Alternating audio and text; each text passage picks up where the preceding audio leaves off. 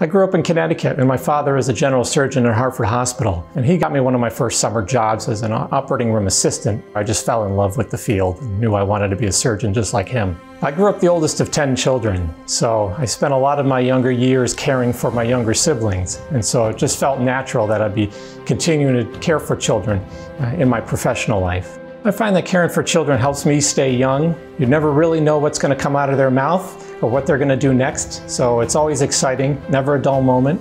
Well, we try to make the office experience fun for the patients, so sometimes I'll take a listen to their stomach and try to guess what they had for lunch. I'll ask them about what they like best at school, usually it's recess.